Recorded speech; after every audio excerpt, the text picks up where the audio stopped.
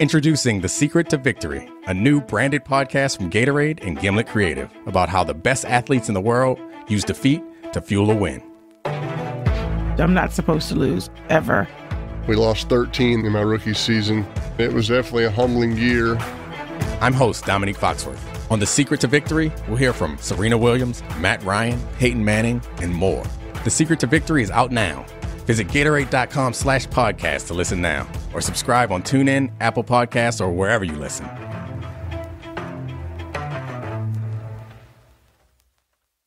Hi, I'm Pat Walters. And before we get started, I just wanted to tell you that the idea for this show came out of conversations with our friends at Retro Report, the documentary film series that connects iconic news events of the past to today. You can check them out at retroreport.org. From Gimlet Media, I'm Pat Walters, and this is Undone. Undone is a show about how big news stories we thought were over often were the beginning of something else. We'll go back to one of these stories each episode and tell you about the surprising things that happened when everybody stopped looking.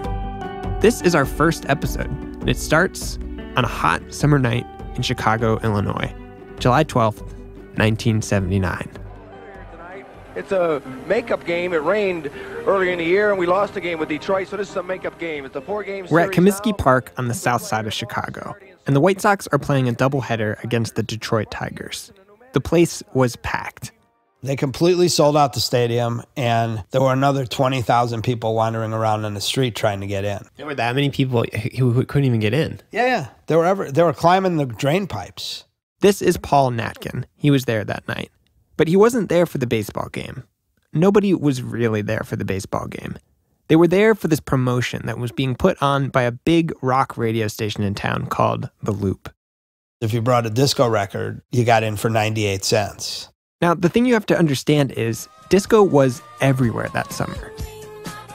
The station said, Bring your Anita Ward, your Sister Sledge, your Donna Summer. Bring all the disco music you can find so that we can destroy it. Disco sucks. Disco sucks. This was supposed to be a wacky stunt, but it ended up becoming something so much bigger than that. It became this huge thing.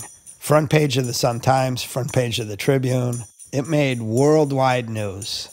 It's a trivial pursuit question. This week, we're going back to this night where 50,000 people showed up to a baseball game in Chicago to rage against disco music. We've spent the past several months sifting through the craziness of that night, trying to make sense of what happened. We found out a lot. And along the way, we came across a guy named Vince Lawrence, an usher at the game, whose story shows how this night connects to so much of the music we listen to today. To get things going, here's Vince, the usher.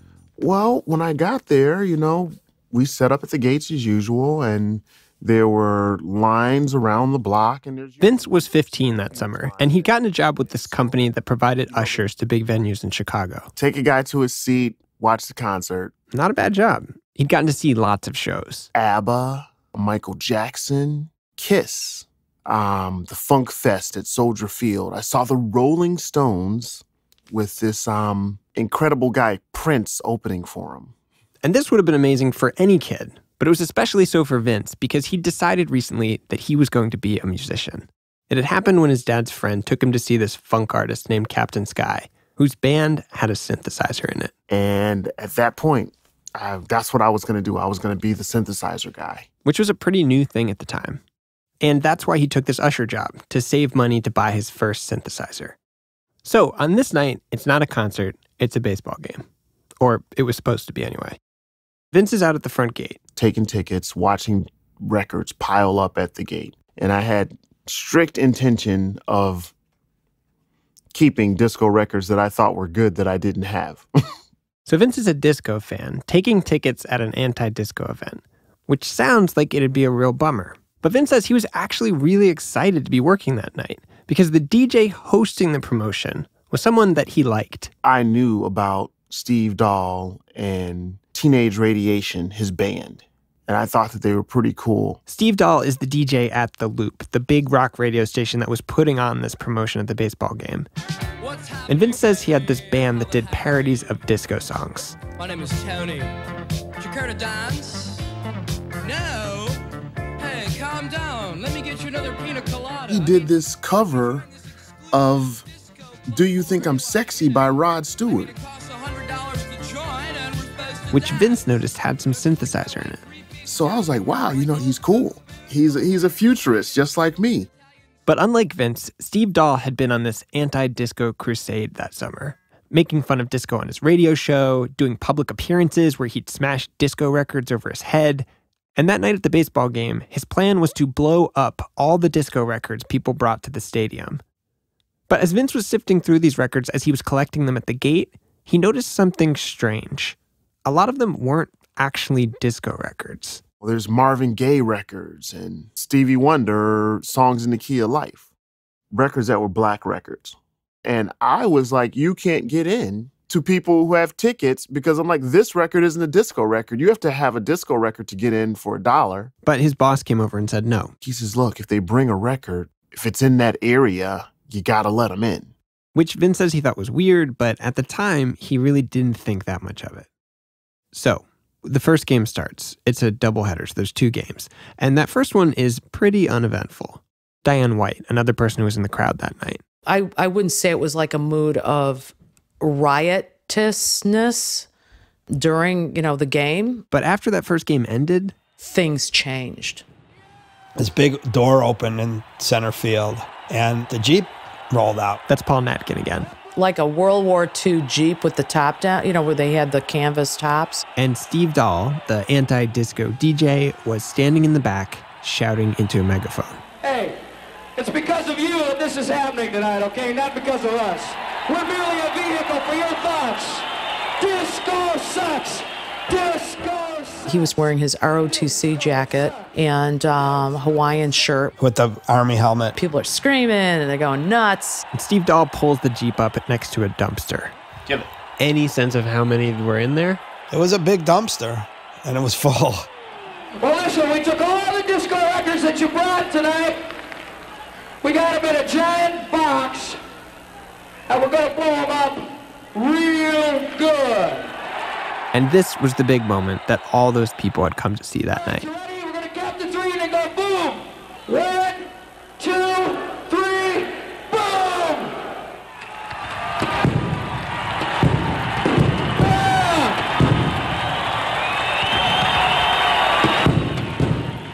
All of a sudden, there's like stuff shooting up in the air. Crowd goes out of their minds.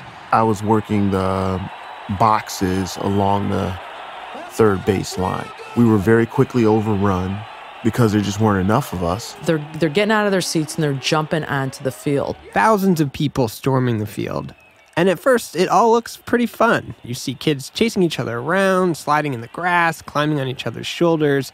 I talked to this newspaper reporter named Dave Hoekstra who was there, who told me the owner was out on the field. And he was old and he had a peg leg, and there's, there's stories He had a about peg he went- leg? he- yeah, yeah, he lost his leg in the war. and he kept getting stuck in the mud.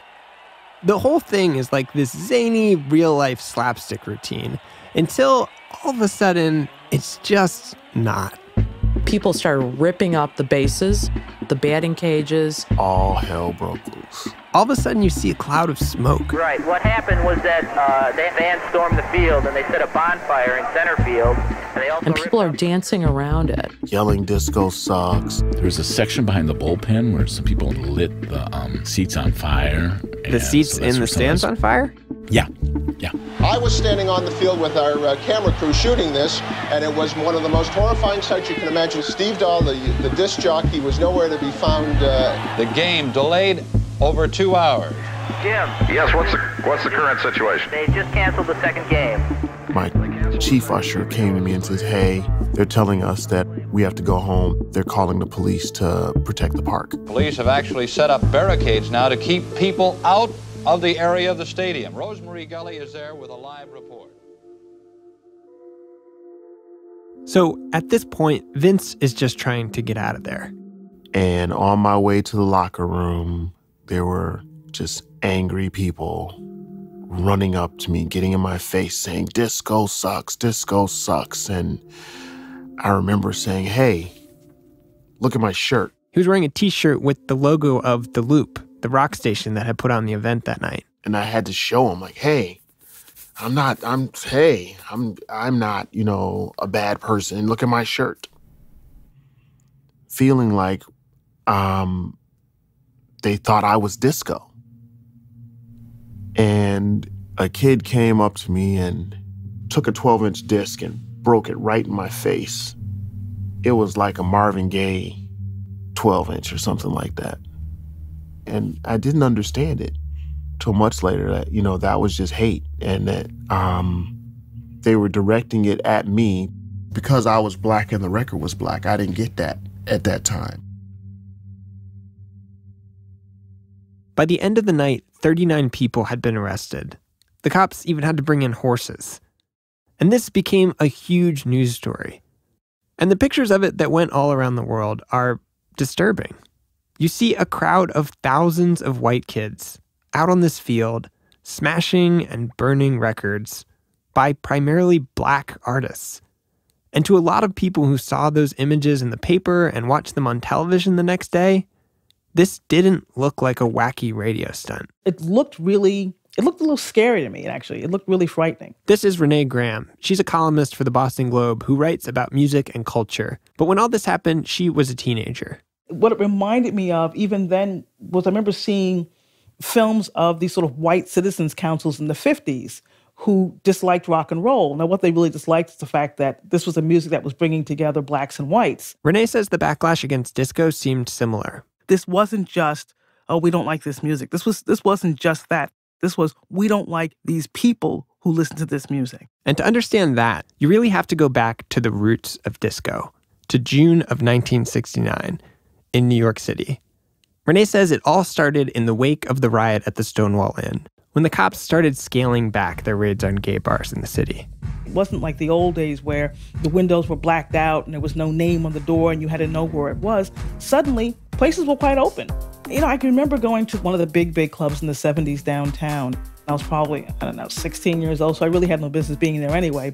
And I wasn't and I wasn't out. So going to those those clubs was I felt like I had I'd come home. As a gay woman of color, these clubs became a safe place for Renee and for lots of people.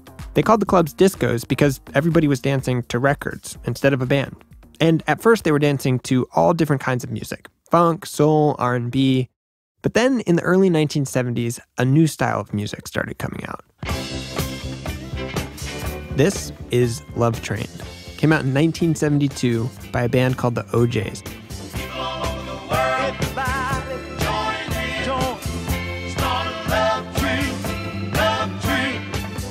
It's one of the first disco songs. And Renee says she remembers hearing disco music and thinking it was clearly different from all the R&B and soul I'd been listening to up to that point. It had some elements of that other music. You know, the bulk of the artists who were out there got their start singing in church. So these were church-trained voices, big gospel-trained, you know, black voices.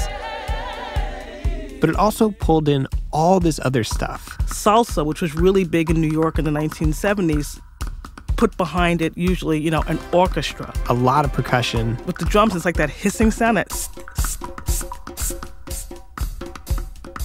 But the most defining element, the thing that was new and really set disco apart from the things before it, was the beat. You have to have, say, 120 beats per minute. It was just a lot faster than music before that. It was sort of like R&B but on steroids. They called it 4 on the floor, which just means that the music was written in 4/4 time, 4 beats per measure, and where the drummer would hit the bass drum on every single downbeat.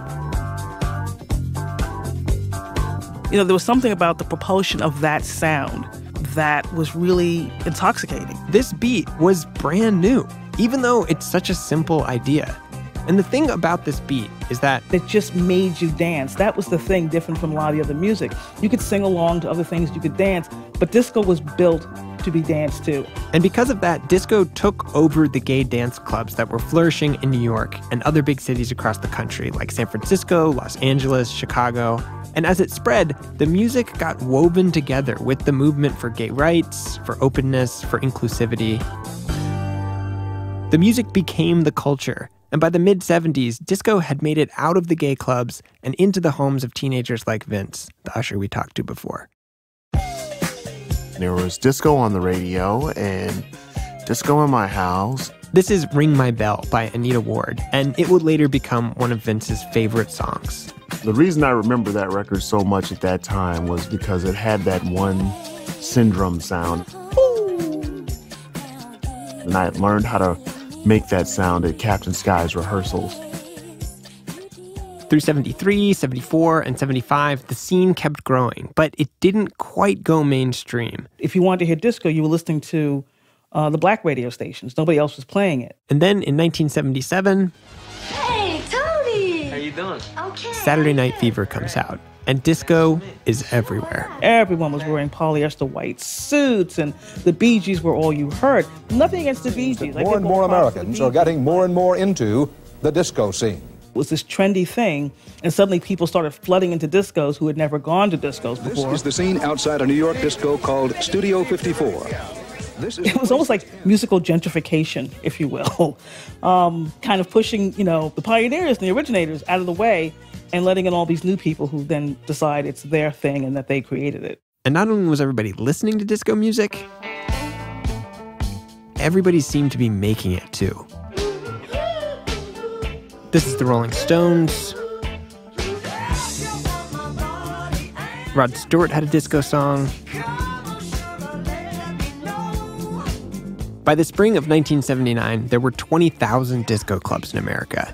Nearly half the Grammy Awards that year went to disco music, and dozens of huge mainstream radio stations, stations that previously played rock music, switched formats to play disco 24 hours a day.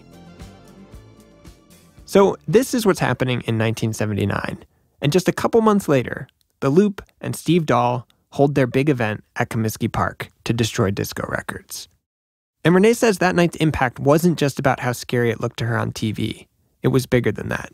Well, I mean, you know, after that, disco kind of becomes a four-letter word.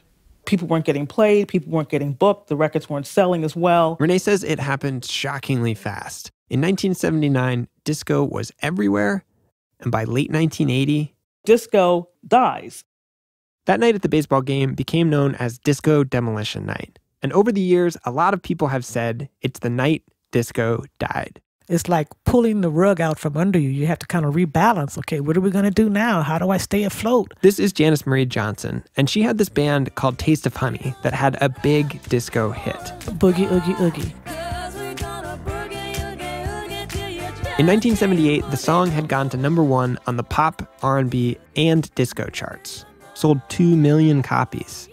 That summer, they were playing stadiums. 80,000 people, outdoor concert, Chicago, singing my song. They won a Grammy Award for Best New Artist. 1978 was a great year for them. Our second album was released in 1979, and I think it was July 12th, 1979, where they were burning disco records. And we had just had a new release categorized as disco. So, how does that work for you, girls? Not well. By the end of that summer, I'm noticing that the radio stations that I used to listen to have changed formats. and it turned out this was happening all across the country. Just like that. Disco is dying overnight. Taste of Honey broke up in 1983, and Janice Marie switched careers. I drove a limo. Would you believe that? People said, You can't drive a limo. I said, Why not? What are you talking about? After a quick break, we talked to Steve Dahl, the radio DJ behind Disco Demolition Night. And Vince Lawrence, the usher we heard from earlier, explains how the place that killed disco accidentally helped give birth to a whole new kind of music.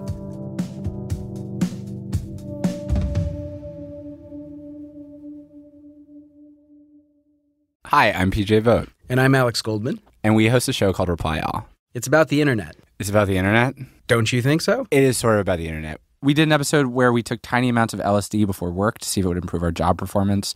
We did an episode where we talked to this guy who says he's in jail for a murder that he didn't commit. We did a profile of this woman who says that she is secretly training rats to star in viral videos as part of a plot to change the world. But they all touch the internet in some way. Anyway, it's a good show for people that like surprising, funny, true stories. Listen and subscribe wherever you get your podcasts.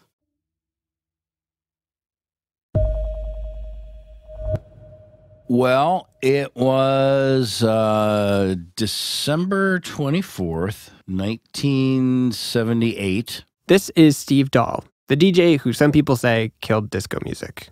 He's in his 60s now, still making radio in Chicago. And he says Disco Demolition Night all got started because of this crappy thing that happened to him the Christmas before that summer.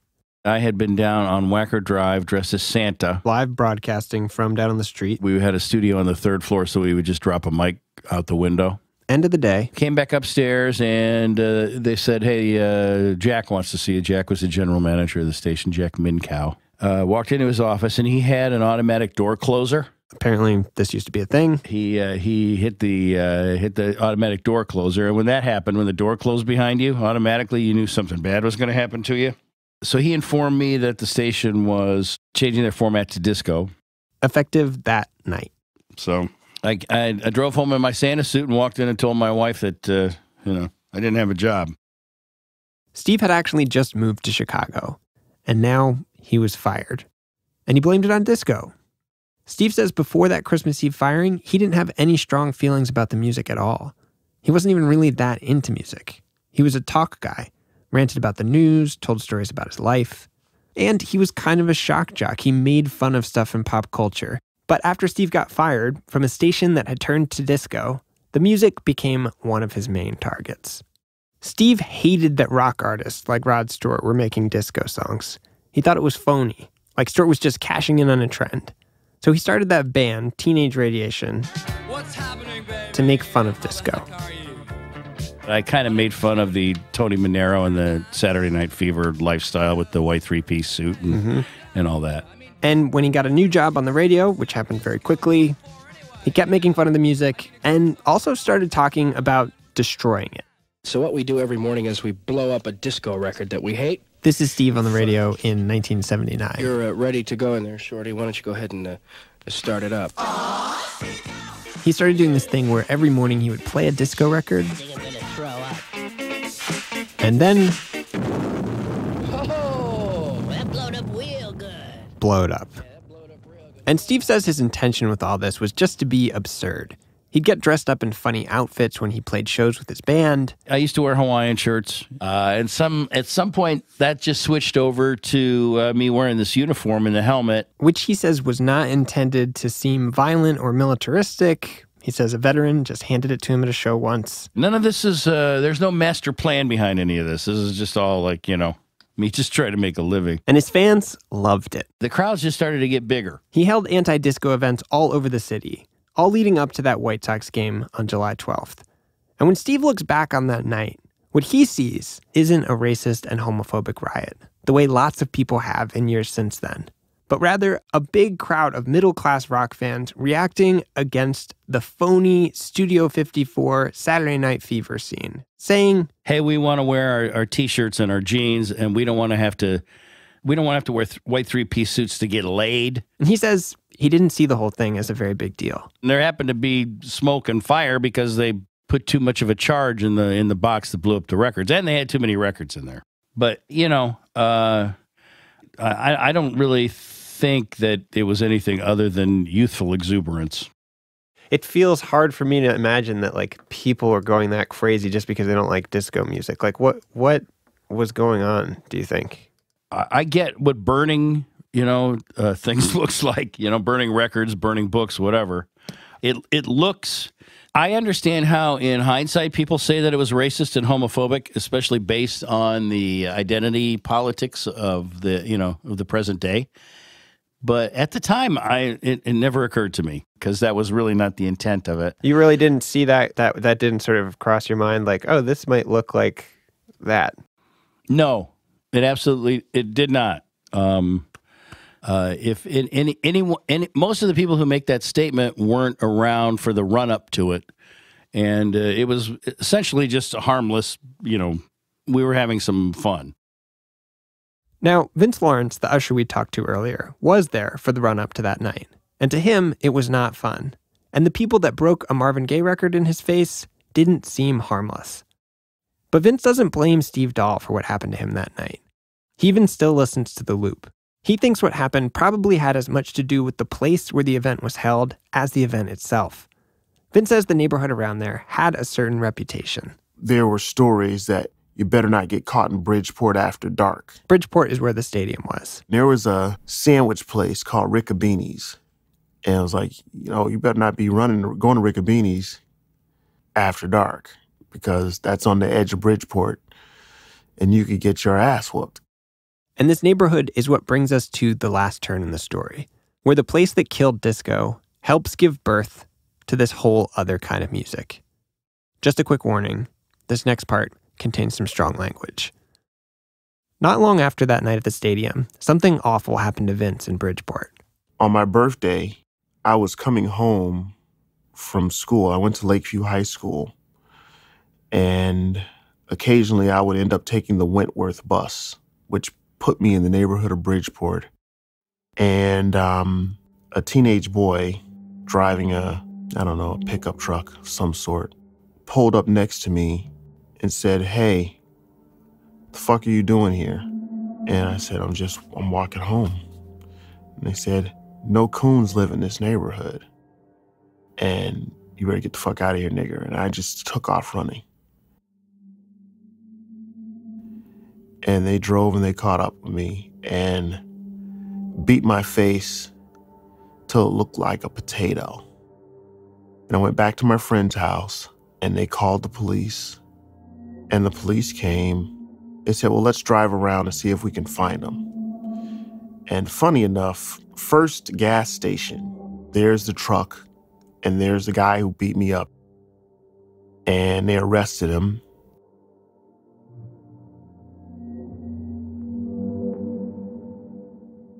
My mother got a call from this kid's lawyer saying, Hey, we've got a court date that's going to come, and we don't want to ruin this kid's life. We were hoping that you could forgive this guy. He made a mistake. He's really sorry. Can we work something out and get you guys to drop the charges? And I said, You know, I have photographs of what my face looked like that day. He didn't seem at all sorry. I think that I should go to the news and I should tell the news that what happened in the South is still happening in Chicago, in your neighborhood. He said, No, no, no, we don't, we, we, we're trying to make peace with this. I understand that, you know, you were hurt and we want to maybe pay you for your trouble. And the light bulb in my head just went off because remember, I was saving up for my first synthesizer I knew the price list at Biasco Music by heart. And I very quickly added up what it was going to cost me to get my three favorite synthesizers. And I'm like, okay, well, if he doesn't want me to show up at court, it's going to cost him $6,500. and um, we settled we settled for five right then and there. First, I, you know, actually needed to heal physically and then after that, I wanted to get my mind right. I was so eager to put it behind me. And I thought that one way to forget about it would be to get on with my music making, which was the only thing I thought about all the time. So that's what Vince did. He bought two synthesizers and he started writing songs. I made a record not too long after that with my band Z Factor, all made with synthesizers. With those very synthesizers, those very same synthesizers, I went on to make um, On and On. That's this song. Vince made it with his friend Jesse Saunders, and it is widely recognized as one of the very first songs in a whole new genre of music called house. House is a lot like disco, but stripped down. So everything that's good about disco, the driving beat, the passion, the energy, it's all there. Like get rid of the big bands, the soaring lyrics, the string sections. We just like the part that was supposed to break down. Skip all that drama at the beginning, all the foreplay.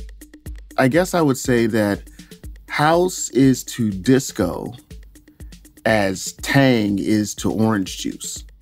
It's got the flavor of oranges just intensified and crammed into a little space. It's this sort of evolution of disco. Renee Graham again. As she started writing about music professionally, she watched this evolution from disco to house unfold. The great, late great DJ, uh, Frankie Knuckles, you know, called house music, you know, disco's revenge. Frankie Knuckles is known as the godfather of house music. He DJ'd at a black gay club in Chicago called The Warehouse, which is why it's called house music. As more and more artists started making this new music, you could see house start to fill in the space disco once occupied. Vince was too young to get into The Warehouse, so he and his friends started throwing their own parties, these semi legal, all ages DJ parties at warehouses. The energy was insane. It was incredible. You know, just imagine, just imagine you put 1,500 17 year old kids in a room unattended with music. and these parties started multiplying like crazy in Chicago and in other cities across the country. This is Love Can't Turn Around by Farley Jackmaster Funk, which is a really famous house song.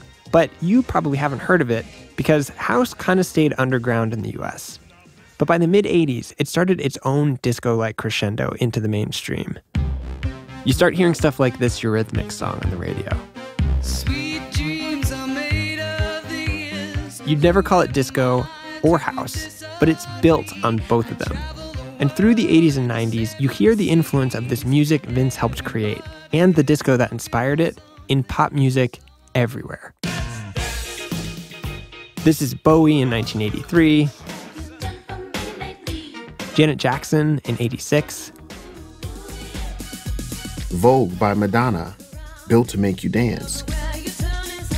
It's got the four on the floor beat from disco, the synthesizers from house, and it sounds more like those two genres of music than anything else that came before disco did. And Vince says if you look at the songs that top the charts now, it's still going. All of these new pop mainstream songs that are favorites of the, the world over are built on disco records or built on house music. Kylie Minogue, Can't Get You Out of My Head. What do you mean? Justin Bieber, What Do You Mean? And We Found Love by Rihanna. And now some of the most popular artists in the world are DJs and producers. Calvin Harris, Diplo, Skrillex, Daft Punk. You can hear house and disco in all their music as they play stadiums in front of tens of thousands of people. So when Vince thinks back on what happened that night in July of 1979, I would say if someone said disco died that night, wow, it's like, okay, um, dance music culture is bigger than it ever was. At one point, it was the favorite of a very small group of people, which Steve Dahl drew affectionate little circles around and scorned and ridiculed. And now it's the music that everyone likes. It's the music of our generation.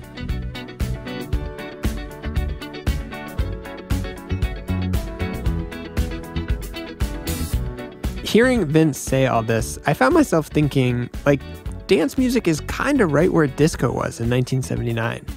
So I asked Renee Graham, the music writer from before, are we like, are we gonna have another disco demolition night? Is that, are we coming up on that? You know, it's not like, you know, in the 70s you had only so many radio stations.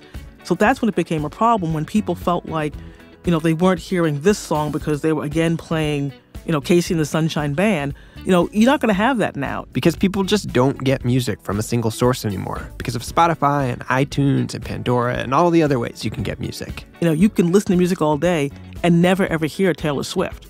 You know, I mean, so I don't think there's going to be that kind of an issue where people feel like this thing has kind of taken over. You know, I don't necessarily think the world's more accepting of dance music. You know, I just think that there's a kind of, you know, for lack of a better term, the way music is now kind of segregated. You know, we won't. I don't think we're going to have a, you know, a, a dance music demolition night.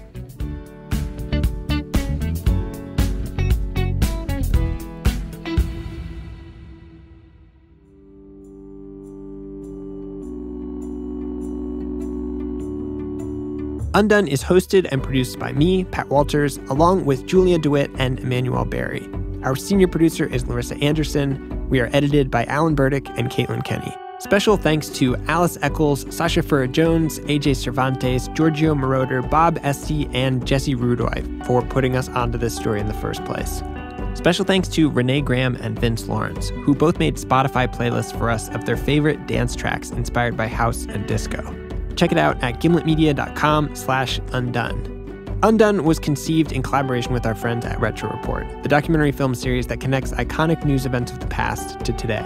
You can find them at retroreport.org. This episode of Undone was mixed and scored by Bobby Lord, with additional music by Matt Bowl.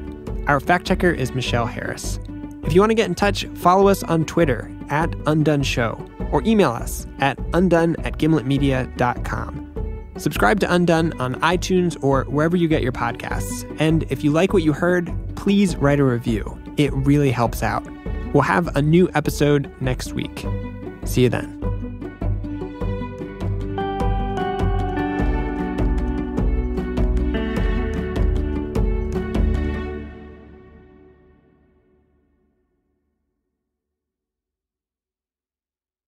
Hi, Pat. Hi, Julia, producer at Undone. I have one last song I want to play for you because I was really bummed that we couldn't get in the story. Great. And it's called Disco Duck.